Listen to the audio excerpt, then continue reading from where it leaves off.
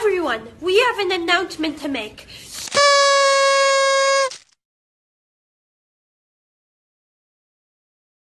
Yes, another worst to best video. Isn't that awesome guys? I really love doing these. It's not like I'm running out of content or anything or because they always get some easy views. No, it's nothing like that. In this video, we're gonna rank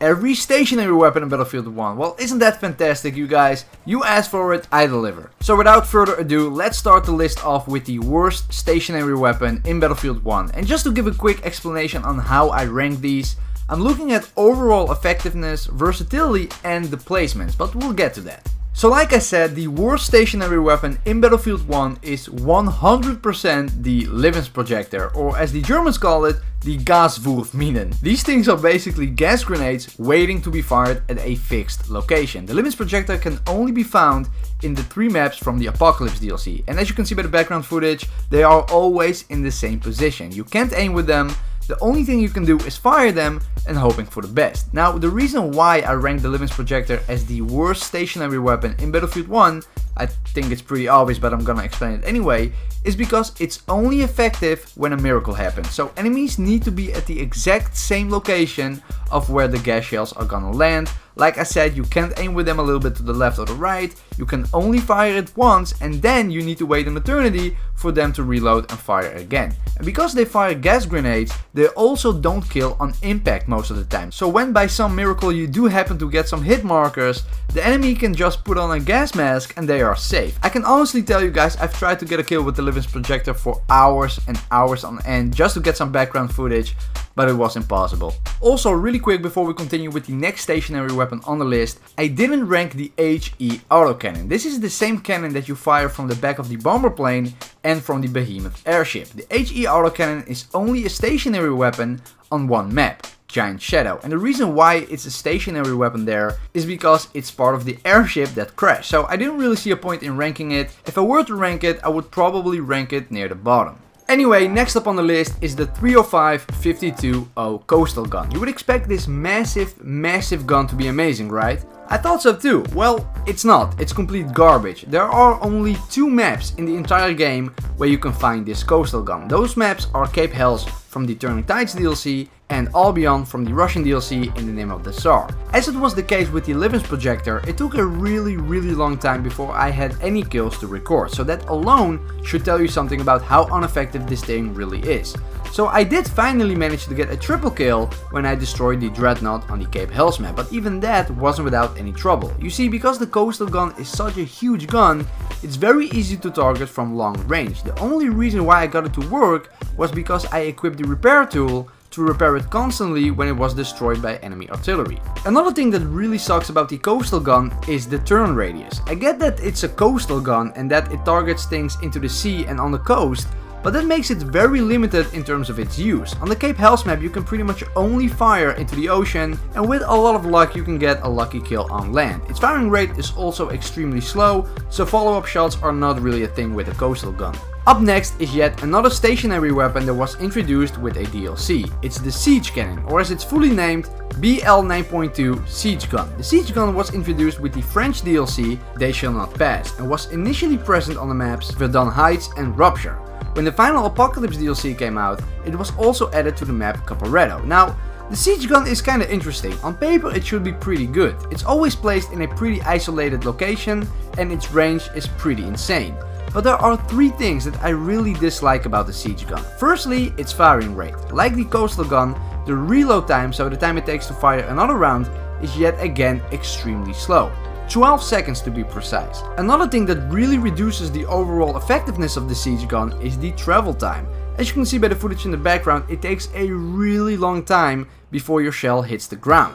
The cool thing though about the siege gun is that it has three different shells to fire. It has a high explosive shell, a gas canister shell and a smoke grenade shell. So because you have those three different types of ammunition, you can actually play it pretty tactically. For example, if you want to cut off an enemy route, you can fire a gas grenade there, or if you want to help your team push up, you can fire a smoke grenade. You need to use it very wisely though, because once you fired it, you can't fire another shell for 12 whole seconds. The last thing that makes the siege gun not that effective is its splash damage. You really need to hit your enemies dead on, otherwise you won't do a full 100 damage. And like I said, because of its firing rate, follow-up shots are not possible, which is not the case with a regular mortar for example. The next stationary weapon on the list is the Fortress Gun. The Fortress Gun is yet again only to be found on 3 multiplayer maps. Two vanilla maps which are Empire's Edge and Monte Grappa, and on the map Heligoland Bight from the Turning Tides DLC. The reason why I rank the Fortress gun pretty high up the list is because of multiple reasons. Firstly, unlike the other stationary weapons, it fires two shells at the same time, which increases the kill zone and therefore its overall effectiveness. Secondly, its reload speed is actually not that bad, especially when you compare it to the siege gun for example. The splash damage from the fortress gun is also pretty damn amazing, you'll see plenty of kills in the background footage because of that. Another good reason why I really like the Fortress gun is because of the protection it offers to the operator.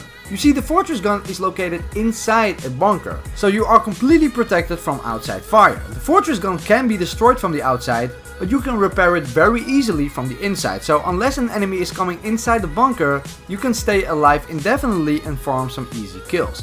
One more thing to point out about the Fortress gun is that depending on the map, the Fortress gun is either completely useless or pretty insane. For example on the map Empire's Edge, there is a fortress gun located to the west. This fortress gun can pretty much only be aimed towards the ocean, which renders it pretty useless. On Heligoland Bight it's the same story, though because the map is so heavily naval orientated, you can actually get some nice kills. But the fortress gun is the most effective on the map Monte Grappa. Even though I hate that map, with the fortress gun you can have some pretty insane kills especially on operations when you are the defending team. So for those reasons, I rank the fortress gun like this. Nani? Next up on the list is the Coastal Cannon, not to be confused with the Coastal Gun. This stationary weapon can only be found on the map Zeebrugge from the Turning Tides DLC, and because of that reason alone I actually wanted to rank it much lower, but after careful consideration I actually think it deserves this spot on the list. The SK-45 Coastal Cannon is actually pretty damn good. It has a fast rate of fire, the projectile's travel speed is also pretty fast, it does decent damage with good splash damage, it has great range and it comes with a zoom function for extra precision. There are 4 different coastal cannons on the Zeebrugge map, 2 near the A flag and 2 alongside the harbor, which is great to take out incoming torpedo boats. And since this map is so focused on naval warfare, there will be plenty of boats to destroy. It can also be used to target distant infantry and L-class destroyers as well as C-class airships up in the sky. But because of its limited presence on other maps and because you don't really have any protection when using the coastal cannon, I can't rank it higher than this. So now we finally enter the top 3 and an interesting thing to note here is that the top 3 are all stationary weapons from the vanilla game. So next up on the list, which is the number 3 spot on the list, is the stationary heavy machine gun. This stationary weapon can be found on pretty much every map in the game and most likely there are multiple locations on those maps as well. You have two types of stationary machine guns, one with a protective shield and one without. The pros and cons of having a shield is pretty obvious. The shield protects you from small arm fire, but limits your view pretty drastically. It also doesn't cover your entire silhouette so you can still get shot. Not having a shield leaves you very vulnerable and you can pretty much count on it to be shot in the face by a sniper. Now there are some machine gun nests on certain maps that have a great position, so you can get plenty of kills. Though the machine gun has two major drawbacks in my opinion.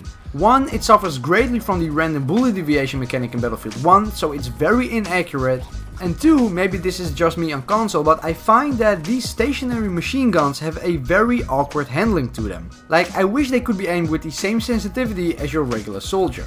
The machine guns are also pretty effective against airships. Next up on the list, so the second highest ranked stationary weapon in Battlefield 1 is the stationary AA cannon. I think most of you would agree with me that the AA cannons are often very important in winning a game where there are multiple enemy planes. These AA cannons can be found on pretty much every map that has aerial vehicles and are obviously extremely effective in taking out planes. They are very easy to use and can even be effective against enemy infantry. One downside is that pretty much all ace pilots know exactly all locations of these AA cannons and you'll find that they often go to destroy these AA cannons first. But there is no denying in the fact that the AA cannons are very very important in winning close games.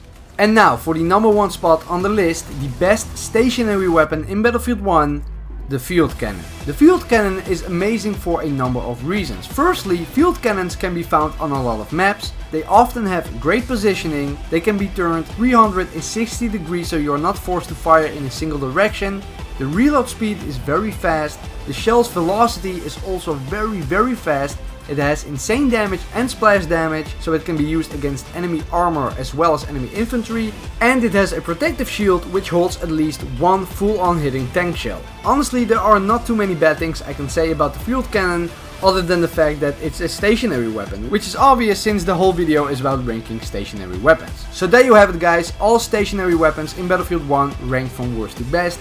Do you agree with the list or do you not agree? Let me know down below. If you enjoyed the video, please give it a like, subscribe with notifications on if you haven't already. Thanks for watching and I see you guys next time.